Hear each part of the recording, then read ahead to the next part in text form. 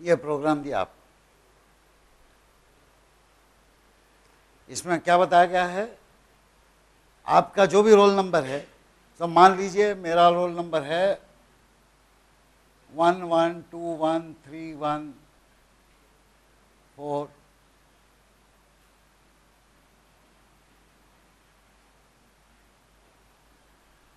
ये मेरा roll number है। तो मेरे रोल नंबर के लास्ट डिजिट्स क्या हुए चार? वन फोर थ्री फाइव तो मैं जो इसको इनपुट दूँगा, क्या दूँगा? वन फोर थ्री फाइव ये नंबर मैंने इनपुट दिया।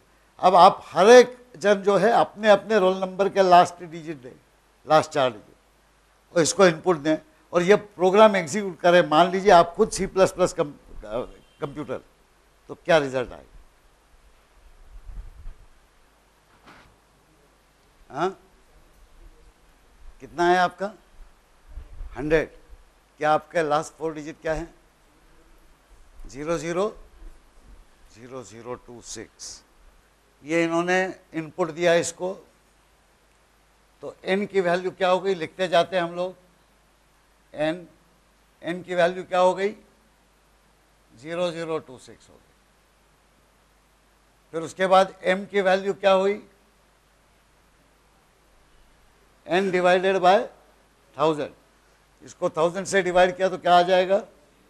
ज़ीरो आ गया। ठीक if M equal to zero M is equal to ten यानी एम की वैल्यू ज़ीरो से टेन हो गई। अब यहाँ पे आए। सम की वैल्यू क्या है? सम की वैल्यू है ज़ीरो सम की वैल्यू यहाँ पे तो ज़ीरो है। नहीं, देखते हैं। अभी यहाँ पे आई और जे की दोनों की वैल्यू इनिशियलाइज हो रही हैं, दोनों की वैल्यू घट बढ़ रही हैं, और ये लूप कब तक चलेगा? जब तक जे की वैल्यू एम से छोटी है। जे की वैल्यू बढ़ रही है। तो यहाँ हम लिखते हैं आई की क्या वैल्यू है? जे की क्या वैल्यू है? और हर इटरेशन में सम की क्या वैल्यू हो? तो पहले आई की वैल्यू रहेगी क्या? एम यानी टेन जे की क्या वैल्यू रहेगी? ज़ीरो तो सम कितना हो जाएगा? सम इज़ इक्वल टू, शुरू में ज़ीरो था, अब ये हो जाएगा टेन माइनस ज़ीरो, यानी टेन हो जाएगा। इसके बाद इटरेशन खत्म होकर वापस ऊपर गए। आई माइनस माइनस, यानी आई हो गया नौ। जे कितना हो जाएगा? एक। क्या जे एम से छोटा है?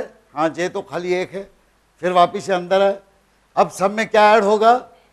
टेन। टेन ऐड हो गए तो ये हो गए बीस। उसके बाद ये क्या हुआ? आठ, ये हुआ दो। Sum plus I minus J, nine minus one, यानी आठ ऐड होंगे। तो ये हो जाएगा एटीन। यहाँ कितने ऐड होंगे? एट माइनस टू, यानी छः ऐड होंगे, चौबीस। फिर आएगा सात और छः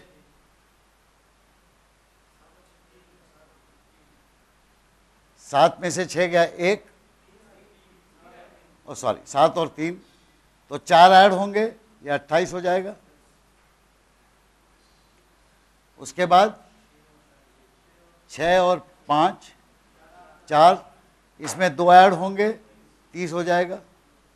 फिर पाँच और पाँच, ज़ीरो ऐड होगा, ये तीस ही रहेगा। फिर चार और छः माइनस दो ऐड होंगे, ट्वेंटी एट हो जाएगा। फिर ट्वेंटी फोर होगा, फिर अठारह होगा, फिर दस होगा, और रुक जाएगा लेस देन एम किया है।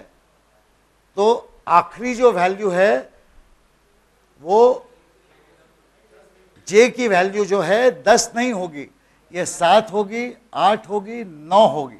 लेकिन दस नहीं होगी, क्योंकि लेस देन एम में निकल जाता ठीक है? अब ये तो हुआ जब एम था दस। अब आप बताइए कि एम कुछ भी हो, क्या रिज़ल्ट होगा? देख लेते हैं एक बार एग्जीक्यूट करके। मान लीजिए कोई रोल नंबर जो है टू वन फोर एट है, मान लीजिए।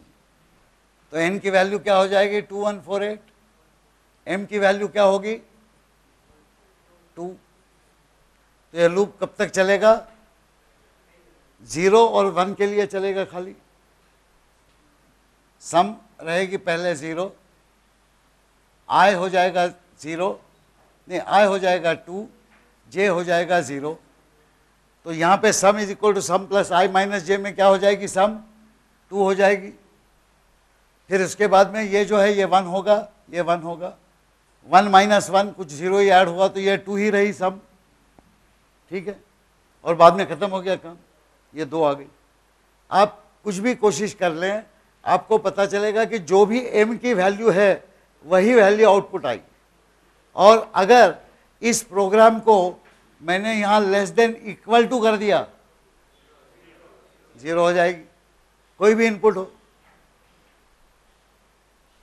लेकिन ये जो इस छोटे से सवाल में भी आप में से एक ने कहा सौ, किसी ने कहा दस, किसी ने कहा ज़ीरो, और फिर बाद में सबको चमक गया कि नहीं भी, जो भी एम है एम वैल्यू आ रही। वो इसलिए कि ये जो सम है आई माइनस जे ये निगेट कर रहे हैं एक दूसरे। आई बढ़ रहा है जे घट रहा है। तो प्रोग्राम में स्टेटमेंट लिखे, इनको इस तरह से सोचने की कोशिश कीजिए कि क्या कोई कॉम्प्लीमेंट्री कैलकुलेशन हो रहा। लेकिन अगर ऐसा सवाल आया, मान लीजिए आपका एम ज़ीरो भी रहे एन ज़ीरो भी रहे और दस भी करना पड़े तो फटाफट दस तक कैलकुलेशन कर लेना चाहिए। ये zero one two three four five six seven eight nine इस तरह से वैल्यूज़ लिखते जाएँ और बिना गलती किए जोड़ घटा करते जाएँ। You will get the correct answer now do you agree that there was a similar question in mid sem लेकिन वो आप सबके सब सही नहीं कर पाए होंगे पहले टाइम में। कर पाए थे क्या? नहीं। तो कहाँ गलती किए थे? अब बताइए कि कहाँ गलती किए होंगे आप? आपने बाद में फिर सही सवाल भी, उत्तर भी देख लिया। तो गलती कहाँ हुई थी? बताइए। मतलब वो सही इनपुट नहीं देखा था। लेकिन जो इनपुट दिया था, उससे आंसर सही आ रहा था? या उसमें भी कैलकुलेशन में गलती करी? हाँ उसका भी आप एक काम कर सकते हैं। एक ये इसको ही एक्सपेरिमेंट बोलते हैं। आप लोग इतनी बार लैब में गए, किसी को लगा कि लैब में जाके एक वही प्रोग्राम छोटा सा टाइप कर दे, वो मूडल पे रखा हुआ है कट एंड पेस्ट करके लगा दे और साले को एग्जीक्यूट करे वन टू थ्री फोर जितने भी वैल्यूज़ हो। देखिए रोल नंबर कोई भी हो, वो दो डिजिट के रोल नंबर को अल्टीमेटली एक नंबर आता है। एक सिंगल डिजिट वैल्यू रहती है। वो ज़ीरो हो तो दस हो जाती है। यानी मैक्सिमम कितनी वैल्यूज़ हो सकती है? One two three four five six seven eight nine और टेन इतनी वैल्यूज़ हो सकती है। इन सब वैल्यूज़ के लिए उस प्रोग्राम का उत्तर क्या क्या आएगा, या प्रोग्राम करके नहीं बना सकते? जो भी प्रोग्राम है, उसको ऊपर के हिस्से हटा दीजिए कि रोल नंबर का लास्ट डिजिट इनपुट करें, फिर उसके बाद में उसको ये डिवाइड करें मॉड्यूल ले। आपको ये पता चल गया कि फाइनली जो लूप एग्जीक्यूट होने वाला है, वो बिटवीन वन एंड टेन होने वाला है। तो वहाँ तक आने के बाद में एक फॉर स्टेटमेंट डाल दें। For N equal to zero N less than equal to N equal to one N less than equal to ten N plus plus और पूरा का पूरा प्रोग्राम जो है, उतनी बार एग्जीक्यूट करवा ले। उतने आउटपुट आ जाएँगे आपके। तो आपको फॉर्मूला मिल गया। फिर उसको आप कंपेयर कर सकते हैं कि भाई एन की पाँच है तो इसकी वैल्यू भी पाँच आ रही है एन की छः है तो इसकी भी छः आ रही है। यानी जो भी है है वही आ रहा है आउटपुट जैसे इस इस प्रोग्राम में अब ये एक्सपेरिमेंट करने की क्यों आपको नहीं सोचती है कभी? प्रोग्राम दिया हुआ है प्रोग्राम को कट पेस्ट कर ले लैब में जाते हैं आप लैब में उसको एंटर कर दें गलत गरज पड़े तो नहीं तो कट पेस्ट करके कर दे और एग्जीक्यूट करें। लेकिन आप समझ गए तरीका कि ये प्रोग्राम में दस अलग अलग तरीके के आउटपुट आ सकते हैं depending upon what is that digit so can you not write a for statement and let the computer find out what are the 10 possible things. जब हम पेपर करेक्ट कर रहे थे तो करेक्ट करने वालों को कैसे सही उत्तर पता चले? वो कि हर बार आपका रोल नंबर इनपुट करके कैलकुलेट करेंगे. तो क्या करते थे? आपके रोल नंबर के लास्ट टोट डिजिट ले लिए तो उससे वो सिंगल डिजिट क्या आता है, वो पता कर लेते। और फिर उस डिजिट के लिए हमने एक टेबल दे रखा था। अगर ये डिजिट है तो ये आउटपुट ये डिजिट है तो ये आउटपुट ये डिजिट है तो ये आउटपुट उसको करके आप करेक्ट कर सकते लेकिन ये आपको निकालने के लिए आप इस तरह का एक्सपेरिमेंट भी कर सकते हैं, है ना? ठीक। अच्छा अभी एक और सवाल देता हूँ।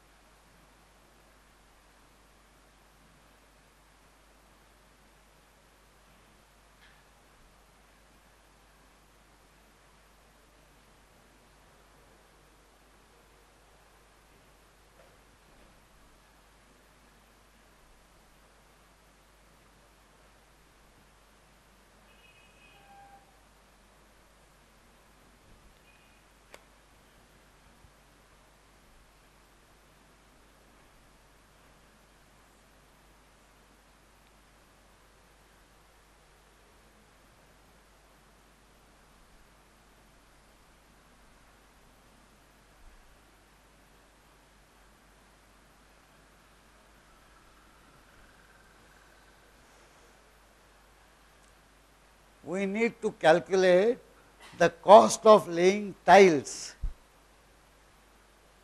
on the roofs of all houses in a colony.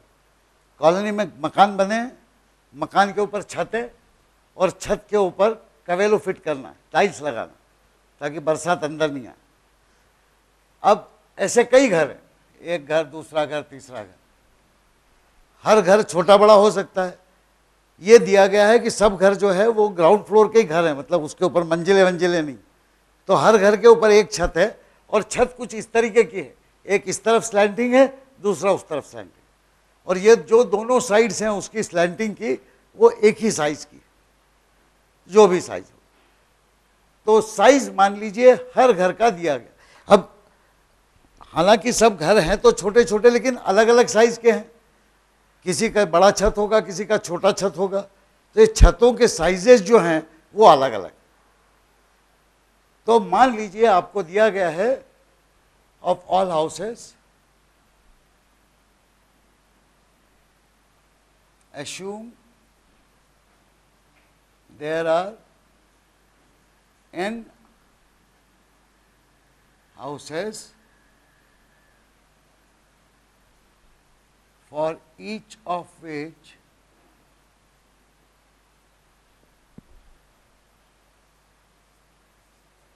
there are two rows of size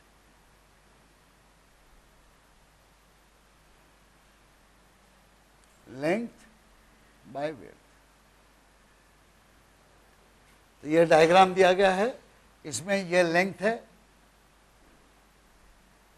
और ये विड्थ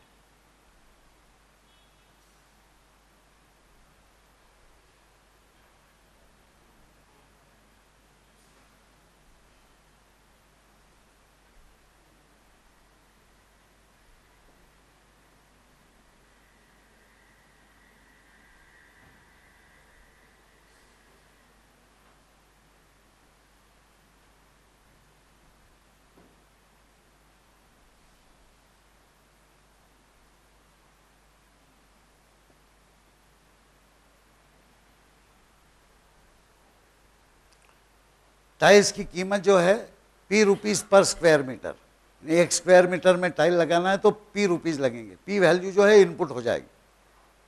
अब ऐसे एन हाउसेस दिए गए हैं और हर हाउस का अलग अलग साइज़ है। तो ऐसा नहीं है कि दूसरा हाउस भी उसका एल और डब्ल्यू हो मान लीजिए ये एल वन और डब्ल्यू वन है तो दूसरा एल टू डब्ल्यू टू होगा। लेकिन हर एक के साइजेस दिए हैं आपको। हर एक के साइजेस आपको दिए गए। तो ऐसा समझ कर लीजिए कि इस तरीके से आप डेटा कैसे फ़ीड करेंगे? सबसे पहले ये सोचिए इस प्रकार सबसे पहले तो आप पता करेंगे कितने हाउसेस हैं। एन की जो वैल्यू होगी वो आप पढ़ेंगे। So your algorithm will say read value of N ठीक है? उसके बाद इटरेशन बनाएँगे एन बार। हर इटरेशन में आप एक एक घर के लेंथ और विर्थ पढ़ेंगे।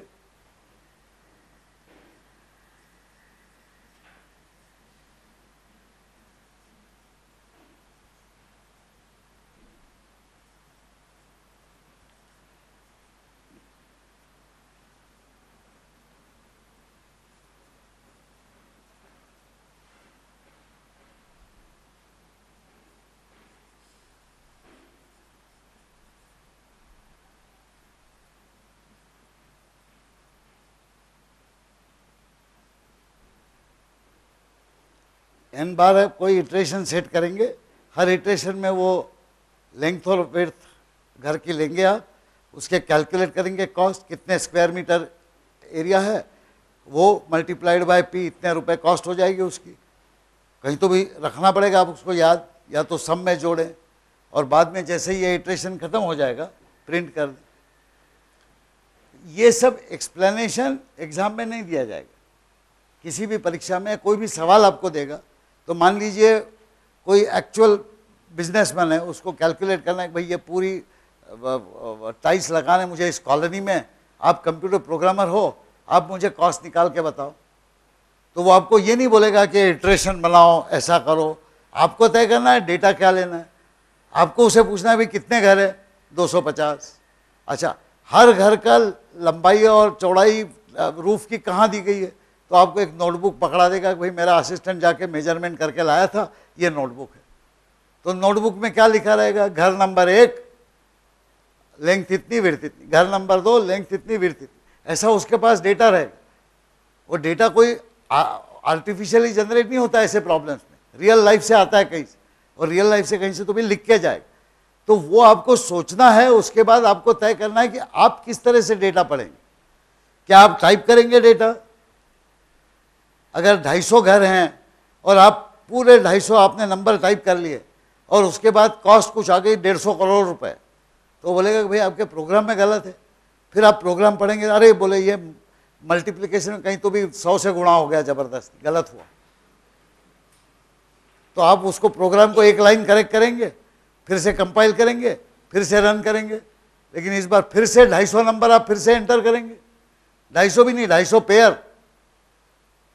और ऐसी तीन बार आपने गलती करी तो गलती करेक्ट करने में एक मिनट और डेटा फ़ीड करने में आधा आधा घंटा। क्या वो सही तरीका होगा? तो कंप्यूटर का इस्तेमाल आप किस तरह से करेंगे? So this is a case where you will say that the data is large and therefore I will not type it directly on terminal but I will prepare some text file containing the data and read from that. तो ये हम पहले हमारे assumptions में हम लिखेंगे। हमारे assumption में हम ये लिखेंगे कि ये जो डेटा इतना बड़ा जो दिया गया है, उसको एक फ़ाइल में लिखा जाएगा। मान लीजिए 250 घर हैं। फिर उसके बाद में उसकी लेंथ एंड विड्थ जो है, वो लेंथ मान लीजिए 5.5 मीटर्स है और एक घर की विड्थ जो है 2.8 मीटर्स दूसरा घर है, उसकी 5.8 मीटर्स लेंथ है थ्री मीटर्स विर्थ है। तीसरा घर है, उसकी छः मीटर लेंथ है 2.8 मीटर्स विर्थ है। चौथा घर है, उसकी 5 मीटर्स लेंथ है और 3 मीटर्स विर्थ है। इस तरह से आप डेटा बनाएँगे फ़ाइल में और इस पूरी फ़ाइल को नाम दे देंगे आप कुछ भी, जैसे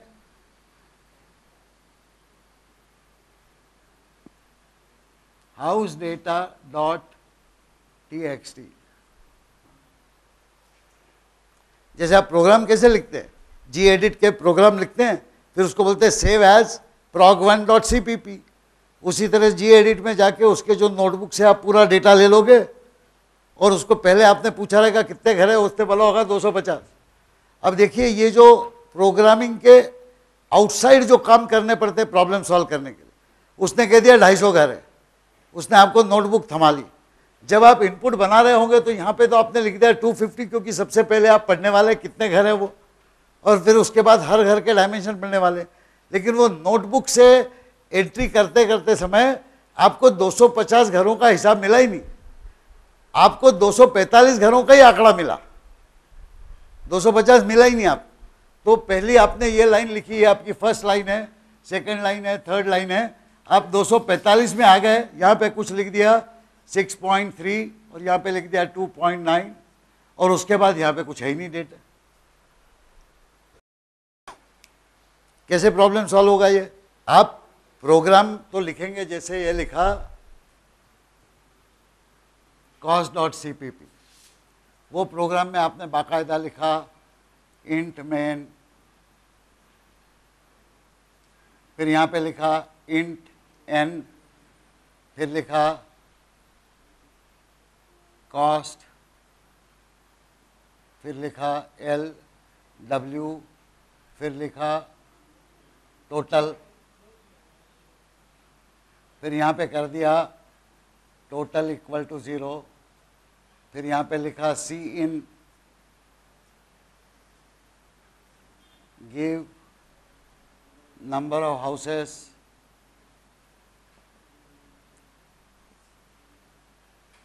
ये तो गड़बड़ हो गया भाई।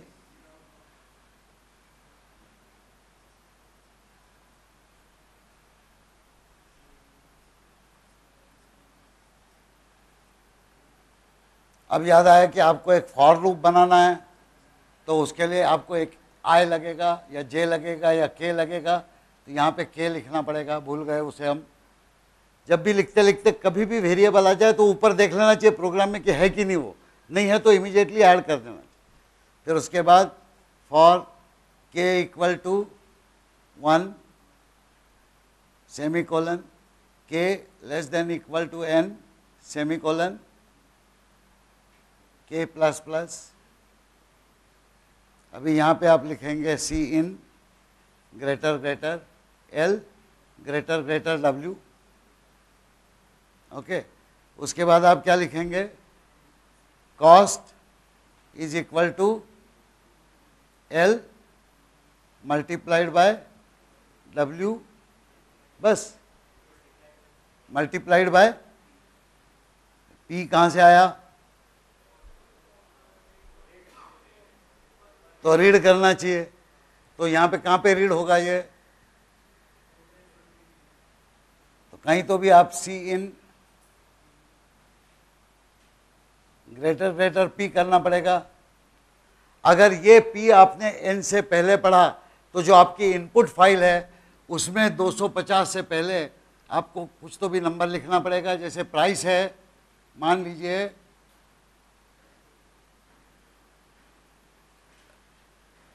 थर्टी रुपीज़ फिफ्टी पैसे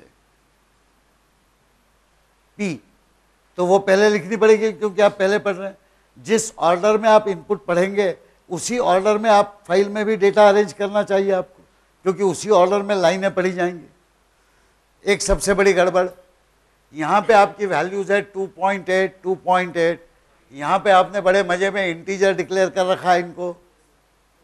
यहाँ पे प्राइस वो जो दुकान वाला है बोल रहा है तीस रुपये पचास पैसे लगेंगे पर स्क्वायर मीटर आप सब लोग इंटीजर लेके घूम रहे हैं, क्या वो सही है?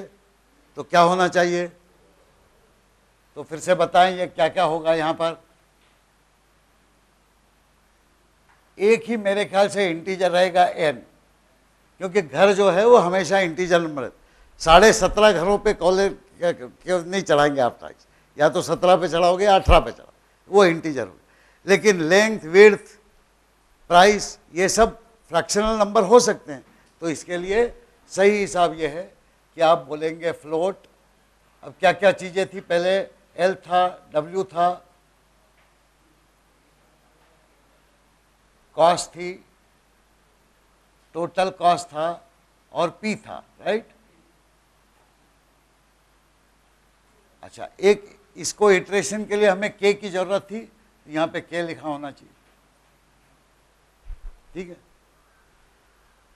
यहाँ तक जब हम प्रोग्राम लिख रहे हैं तो दो चीज़ें आप समझ लें।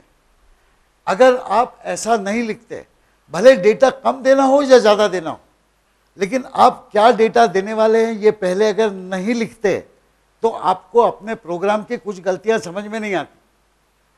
कि भाई ये तो फ्रैक्शनल है, यहाँ पे मैंने इंट लिख दिया है, गड़बड़ हो जाएगी।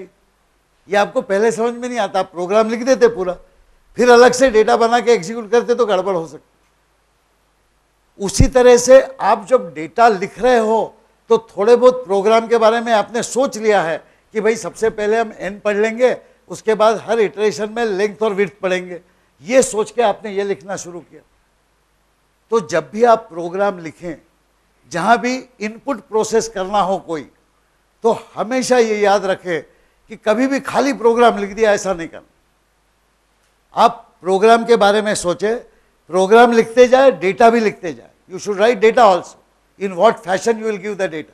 And invariably you will find out a very good algorithm automatic that you want to do it like this, this is the data you will read. If you make a mistake here like intent float, the moment you see this you will realize. Okay. Otherwise you will not understand. So whether you have to type the data later or whether you have to use input redirection to read from a file is immaterial. Whenever large amount of data is to be processed, to be read as input, then you should always, while writing the program, prepare a sample data. किस order में आप data पढ़ेंगे? क्या क्या values कब, कैसी होंगी? तो प्रोग्राम भी आपका सही लिखा जाएगा। और जो आपने डेटा लिखा है that will become the sample structure for input file ठीक है? तो यहाँ तक आ गए तो ये कॉस्ट आ गई। फिर उसके बाद में total is equal to total plus cost ये मेरा इटरेशन ख़त्म हो गया यहाँ पे, और अगर मैं यहाँ पे सी आउट कर दूँ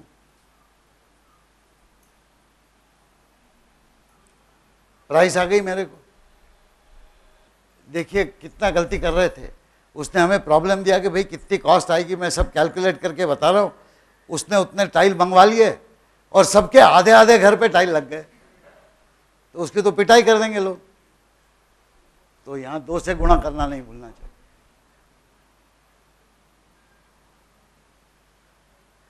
और इसके बाद जब आप कंपाइल करेंगे C plus plus cost dot C P P उसके बाद आप जब एग्जीक्यूट करेंगे dot slash A dot out यहाँ पे आप खाली लिख दें लेस देन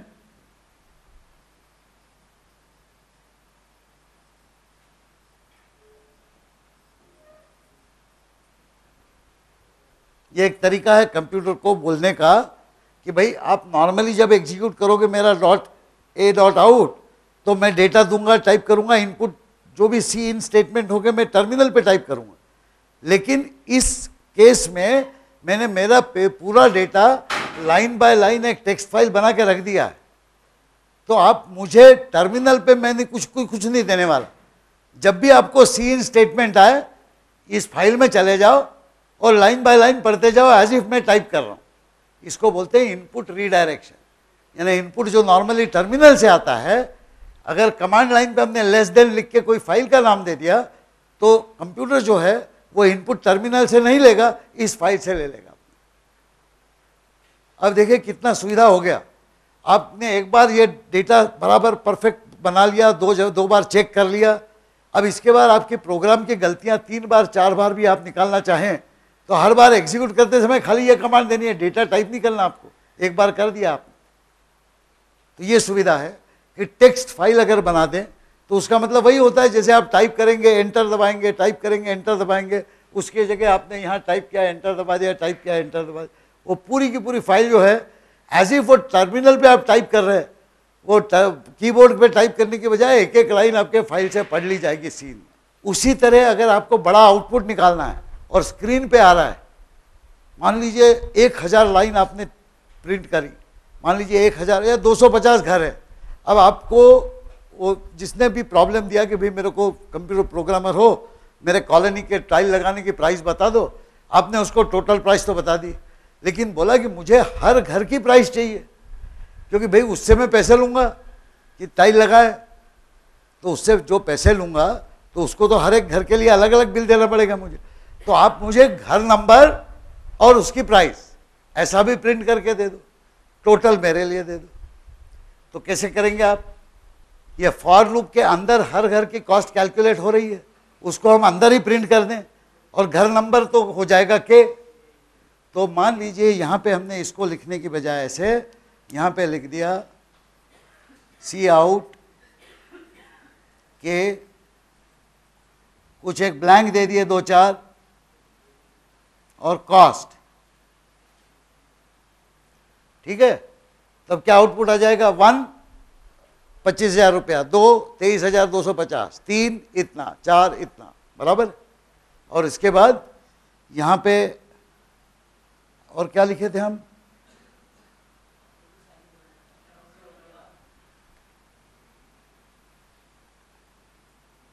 बस इतना ही करना था ना इस लूप में तो। और बाद में हमने टोटल कॉस्ट लिख दी थी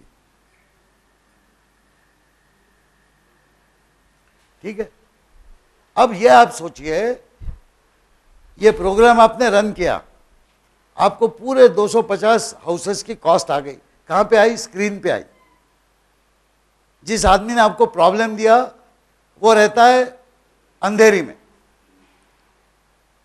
अब वो उसको क्या फ़ोन करके बताओगे? अंधेरे में घर नंबर एक, घर नंबर दो, घर नंबर तीन।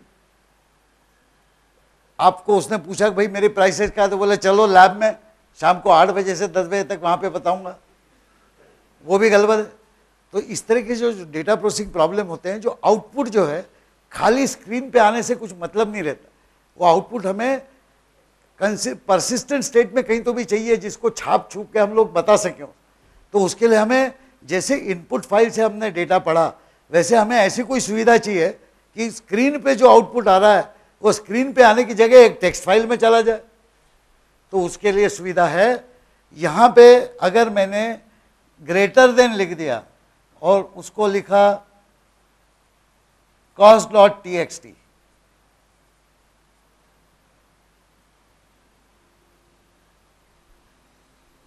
कोई सा भी नाम दे दें। ग्रेटर देन का मतलब है आउटपुट को फ़ाइल में डालो। लेस देन का मतलब है इनपुट को फ़ाइल से ले लो। तो हमें कुछ प्रोग्राम में चेंज करने की ज़रूरत नहीं है। सी इन और सी आउट स्टेटमेंट ही रखेंगे। लेकिन ऐसा लिख देने से जहाँ भी सी इन होगा, वो इस फ़ाइल से पड़ेगा और ऐसा लिख देने से जहाँ भी आउटपुट होगा, वो एक फ़ाइल ऐसी क्रिएट करेगा। जैसे हाउस डॉट डॉट टेक्स्ट तो आपने बनाई थी। अब ये कंप्यूटर खुद बनाएगा कॉस्ट डॉट टेक्स्ट और जब प्रोग्राम एग्जीक्यूट हो जाएगा तो खाली डॉलर सिंबल आ जाएगा। अब वहाँ जी एडिट में जाके देख सकते हैं आप कॉस्ट डॉट एक्स क्या क्या हुई? उसको प्रिंट कर सकते हैं, छाप के उसको दे सकते हैं। कितनी सुविधा हो गई? Isn't it so think like that you solving real life problem problem will be given by someone you are writing a program data में भी given by someone else and the result में भी रिक्वायर्ड समवेयर एल्स अब आपने मान लीजिए मेरे लिए प्रॉब्लम सॉल्व करी। तो ये तो आ गई, सबकी कॉस्ट आ गई। अब मैं आपको एक चीज़ बताता हूँ। यार भैया, ये तो ठीक है कॉस्ट है, इतनी कॉस्ट मेरे को पड़ती है टाइल्स की। लेकिन मैं धंधा कर रहा हूँ। धर्मशाला तो मैंने नहीं खोल रखी। मुझे कुछ मुनाफा कमाना है। I want to make some profit now the cost is this much but I want to charge the client price which is different so now you give me the cost you also tell me the price the price should be more than the cost how much more I should make 15% profit. So the problem is modified as calculate the cost of laying tiles on the roofs okay, of the houses in a colony and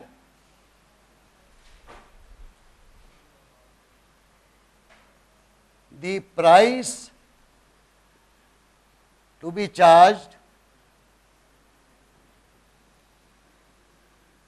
to make 15% profit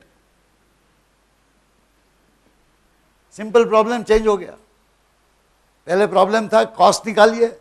अब problem है कि भैया मैं धंधा कर रहा हूँ, मुझे प्रॉफिट बनाना है। अब मैं, आपने इतना कैलकुलेट कर लिया, अब मैं कहाँ, हर एक कॉस्ट में पंद्रह परसेंट ऐड करके मैं कैलकुलेट करूँगा, उसको बिल लिख के दूँगा। तो आप ही बता दो मुझे। तो आप क्या करेंगे आप? किस तरह से प्रोग्राम चेंज होगा? ओके फ़र्स्ट थिंग कॉस्ट तो कैलकुलेट करनी है। 250 हो या 100 हाउस हो, उनका डेटा तो पढ़ना ही है। तो हमें पी भी चाहिए कॉस्ट भी चाहिए टोटल कॉस्ट भी चाहिए। अब एक और आइटम ऐड होगा प्राइस वो भी फ्लोट ही होना चाहिए। तो अब वो अलग स्याही से करते हैं। आपके पास स्याही का रंग नहीं होगा, लेकिन पेंसिल से ऐसा कुछ मार्क करके लिख लीजिए चेंज जो हो रहा है। वो चेंज यहाँ पे हो रहा है, यहाँ पे प्राइस करके ऐड हो जाएगा। और यहाँ पे जो मैं कैलकुलेट कर रहा हूँ तो यहाँ पे एक और एडिशन हो जाएगा। वो क्या हो जाएगा? Price is equal to cost cost plus something cost into something पंद्रह परसेंट प्रॉफिट करना है मुझे। Cost plus cost into fifteen percent fifty five fifteen by hundred So cost plus cost into 15 by 100.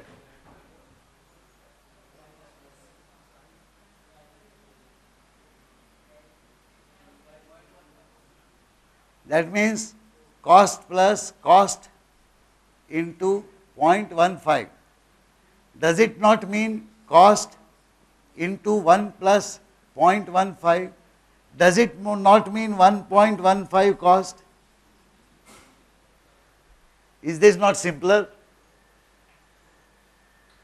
Whatever way, you want to write it like that, there is no problem. Price is equal to 1.15 cost into.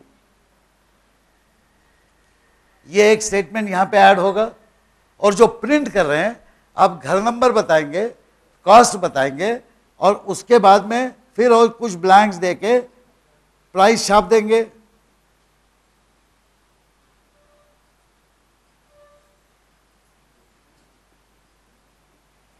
तो आपका बढ़िया output आ जाएगा। House number one cost इतनी price इतनी। House number two cost इतनी price इतनी। अब इसी प्रॉब्लम को प्रोग्राम और नहीं लिखेंगे हम, लेकिन सोचिए रियल लाइफ में किस तरह की प्रॉब्लम आ सकती। आपको किसने, उसने कहा कि आप प्रोग्राम लिख के दे दे, लेकिन मुझे क्या चाहिए? आप बिल बना के दे हर एक आदमी का। हर एक घर के लिए एक बिल बना के दे अलग अलग अलग अलग पेज पे छापे। और आपको मैं हर बिल बनाने के पाँच रुपए दूँगा। तो आप क्या कैलकुलेट करेंगे? एक पन्ने पे मुझे कंप्यूटर पे छापना है, उस पेज की क्या कॉस्ट होगी? कंप्यूटर टाइम मुझे कहीं से लेना पड़ेगा? तो मेरे पास कंप्यूटर है, मान लीजिए। मुझे कितना समय लगेगा? एक घंटा लगेगा प्रोग्राम लिखने में और डेटा फ़ीड करने में। तो ठीक है, पैसा बन जाएगा मेरा। लेकिन मुझे प्रोग्राम अलग से लिखना पड़ेगा। उस प्रोग्राम में मैं ऐसे सी आउट करके नहीं लिख सकता। तो जनरली मैं जो डेटा है, वो एक एक आदमी का एक एक पेज में छापूँगा। उसमें कुछ फॉर्मेट होगा। फिर वो बोलेगा कि भाई मैं बिल दे रहा हूँ तो उस आदमी का नाम पता भी लिखो। तो आप बोलोगे भाई नाम पता कहाँ है? मैं देता हूँ आपको, ये दूसरी पोथी है, उसमें नाम पता लिखा है। तो आपने दो अलग अलग डेटा दे दिया, उसने आपको एक तो घरों का डेटा दे दिया, उसमें रहने वाले मकान मालिक का नाम दे दिया और एड्रेस दे दिया। और दूसरी पोथी दी जिसमें घर के डायमेंशन लिखे अब आपके दो फ़ाइल हो गए। अब आप सी इन स्टेटमेंट से तो काम नहीं चला सकते, क्योंकि सी इन एक ही फ़ाइल से पड़ेगा। इसके लिए ये ज़रूरी है कि आप ये सीख लें कि इनपुट रीडायरेक्शन और आउटपुट रीडायरेक्शन तो ठीक है। सिंपल डेटा बड़े वॉल्यूम में होगा, उसके लिए हमने टेक्स्ट फ़ाइल में लिख दिया इनपुट रीडायरेक्शन कर लिया, वो अपने आप पढ़ लेगा और आउटपुट भी इस तरह कर लेगा। लेकिन हमें दो चार फाइलों से डेटा पढ़ना है। और दो तीन फाइलें आउटपुट बनाना है तो ये सुविधा ठीक नहीं इसके लिए जैसे हम लोग इंटीजर और फ्लोटिंग पॉइंट और एरेज वगैरह अंदर डिफाइन करते हैं, उसी तरह प्रोग्राम में हम फ़ाइल भी डिफाइन कर सकते हम बोलेंगे file house information file file house dimension file एक फ़ाइल पढ़ेंगे, उसमें से उस आदमी का नाम, पता सब आ जाए। दूसरी फ़ाइल पढ़ेंगे, उसमें से उस हाउसेस के ये डायमेंशन आ जाए। रियल लाइफ में देखिए कितने कैन हो सकते हैं। ढाई सौ घर है, लेकिन 245 का ही डेटा है। मैंने आपको पूछा था उस समय, आपने बताया नहीं कि 245 का ही डेटा है। जब आप डेटा फ़ाइल तैयार करेंगे तो आपको काउंट करना पड़ेगा। उसको बोलना पड़ेगा, भैया 245 घर का डेटा है मेरे तो ये नंबर जो है आपको यहाँ पे चेंज करना पड़ेगा। आपको उसे बोलना पड़ेगा कि आपका डेटा सही नहीं है 245 का ही मैं कैलकुलेशन करके दे सकता अब बड़ा प्रॉब्लम जो मैंने बताया उसके बारे में सोचिए। किसी और एक फ़ाइल ने पता छोड़ दीजिए, नाम सबके लिखते दे दीजिए, घर नंबर और नाम। वो तो पूरे 250 लेकिन जो डेटा दिया है वो 245 जो है, पहले 245 नहीं है। पूरे 250 घरों में से कुछ घरों का डेटा नहीं है। तो आप कैसे कोरिलेट करेंगे? क्योंकि अब तो आप बिल दे रहे हैं, खाली कॉस्ट नहीं कैलकुलेट कर तो मान लीजिए पाँचवें घर का डेटा ही नहीं है उसके पास। तो आपने जो पाँच नंबर पाँचवें नंबर पे यहाँ पे भी जो डेटा लिखा होगा, एक, दो, तीन, चार, पाँच, ये डेटा जो है, उस आदमी का नहीं है, दूसरे आदमी का है। तो आपके पहले चार बिल ठीक बनेंगे, और उसके जो बाद में है, वो मेरे वाले का बिल पड़ोस में जाएगा, उसका मेरे पास आएगा। अब मेरा घर बहुत बड़ा है और पड़ोसी का छोटा है तो मैं खुश हो जाऊँगा, सस्ता बिल मिलेगा। लेकिन पड़ोसी पागल हो जाएगा, उसको बड़ा मिल गलत है, ये ठीक नहीं है। तो इसका मतलब हमें घर नंबर से बराबर डेटा लेना पड़ेगा। और उसको बोलना पड़ेगा कि हम नहीं जानते जितने भी घर नंबर है, एक फ़ाइल में आप घर नंबर और आदमी का नाम, घर नंबर और आदमी का नाम। तो घर नंबर एक, दो, तीन, चार, पांचवा नहीं है तो छः लिखो आप, ये छः नंबर का घर। फिर पढ़ते समय भी मुझे वो ख्याल रखना पड़ेगा। खाली इटरेशन लगा के नहीं होगा। मुझे एरेज में आंकड़े सब पढ़ लेने पड़ेंगे। कुछ एरेज में ज़ीरो रहेगा। क्योंकि उसका डेटा नहीं है। उसके बारे में कोई तजवीज़ करनी पड़ेगी। Why am telling you this is that this is how real life problems will be and what we are learning हम लोग जो पढ़ रहे हैं, वो हम छोटे छोटे कंप्यूटेशनल हिज्जे पुर्जे पढ़ रहे हैं। लेकिन इस सब का उपयोग जो है, वो हमें रियल लाइफ प्रॉब्लम सॉल्व करने को ठीक है? अब आपको इटरेशन ये मालूम हो गया। अब इसमें, इसके बाद में आपको मैं होमवर्क के लिए कुछ काम देता हूँ। अभी जो डेटा फ़ाइल मैंने आपको बताई, वैसे ही डेटा फ़ाइल बनाऊँगा, लेकिन उसमें एक और एंट्री ऐड कर दिया, हाउस नंबर।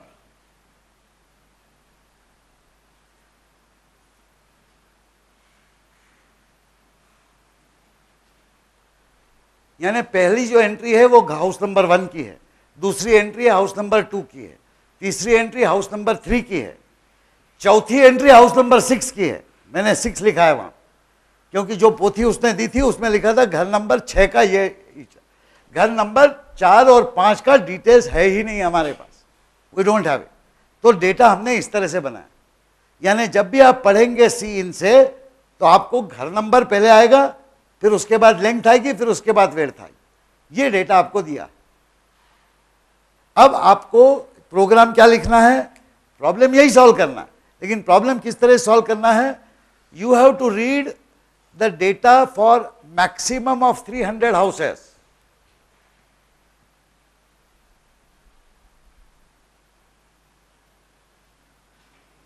maximum 300 houses इसका मतलब मैं चाहता हूँ कि आप एरेज डिफाइन कर लें। घर नंबर की एरे हो, घर के मकान मालिक का नाम की एरे हो, और लेंथ और विर्थ की एरे हो। और इस तरह से जो डेटा दिया जाएगा, वो आप पढ़ेंगे और जिस जिस एरे एलिमेंट का डेटा दिया गया है, उसमें डालेंगे। ये याद करें कि आपके एरे ज़ीरो से चालू होते हैं, लेकिन घर नंबर ज़ीरो नहीं होता। देखा आपने कभी? मैंने नहीं देखा। तो वन टू थ्री फोर ऐसे नंबर रहेंगे। तो आप बिल्कुल बिना झिझक के जो आपकी एरे है ज़ीरो एथ एलिमेंट को भूल जाइए। कुछ रखे ही नहीं उसमें। कोई ज़रूरी नहीं कि हर एलिमेंट ठूस ठूस के भर दिया जाए। ज़ीरो एलिमेंट पड़ा रहेगा वहाँ। आप वन से भरें। अब भरते टाइम में आपको पता चलेगा कि कुछ डेटा है ही नहीं।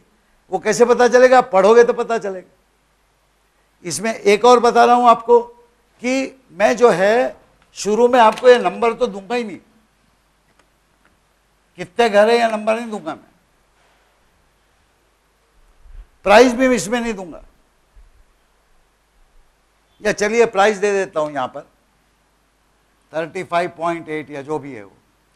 फिर घर नंबर ऐसे जाते रहेंगे और मैं आपको बोलूँगा कि भाई, मैंने कुछ गिने नहीं है मेरे पोथी में कितने घर लेकिन जितना भी डेटा पोथी में है, उतना सब के आप मुझे बना के दे दो। उसमें घर नंबर लिखा और डायमेंशन लिखे। तो आपको कुछ तो भी आर्टिफिशियली आपको याद है, बंद करते हैं आप। काम कैसे बंद करेंगे इटरेशन कैसे खत्म करेंगे? एक तो टोटल नंबर हाउसेस पढ़ ले या फिर कुछ ऐसा आर्टिफिशियल डेटा दे दें कि जिसको पढ़ के आपका प्रोग्राम समझ ले कि डेटा खत्म हो गया। अब घर नंबर ज़ीरो तो होता नहीं है। तो हम आर्टिफिशियली यहाँ पे zero zero point zero zero point zero ऐसे अगर डाल दें। तो आपका काम आसान हो जाएगा। आप एक पहले रिकॉर्ड पढ़ लेंगे, फिर उसका जो फ़र्स्ट में फ़र्स्ट में डाल देंगे सेकंड में डाल देंगे सिक्स में डाल देंगे। लेकिन जब भी आपको ये ज़ीरो आ जाएगा तो इसका मतलब काम खत्म हो गया डेटा खत्म हो गया। जब भी आए ज़ीरो अगर ज़ीरो आने से पहले 300 से ज़्यादा 306 घर हो गए तो आपका तबला बच जाएगा क्योंकि आपकी आरे 300 की है। तो उसको भी आपको चेक करना पड़ेगा। नहीं तो प्रोग्राम बॉम्ब हो जाएगा।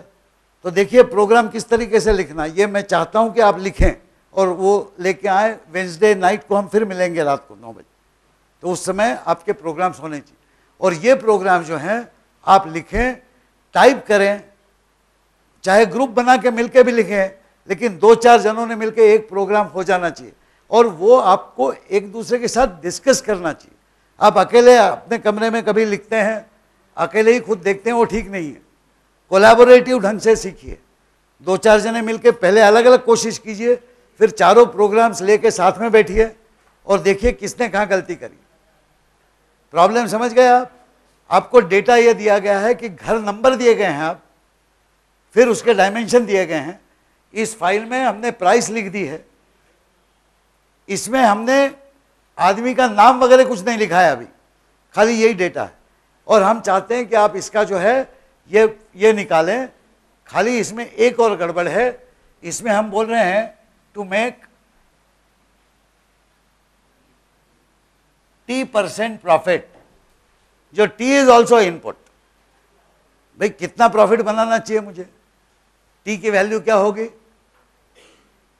कोई तो भी इनपुट देगा। इनपुट कहाँ से आएगा? अगर सब इनपुट में फ़ाइल से पढ़ रहा हूँ तो टी भी यहीं लेना चाहिए।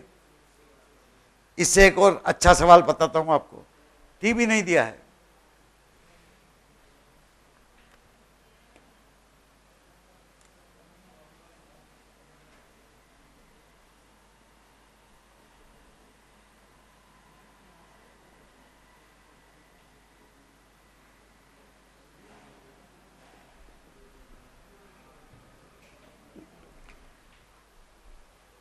देखिए, मैं आपको प्रोग्रामिंग का काम दे रहा हूँ, पैसे देने वाला हूँ ये प्रोग्राम लिखने के लिए।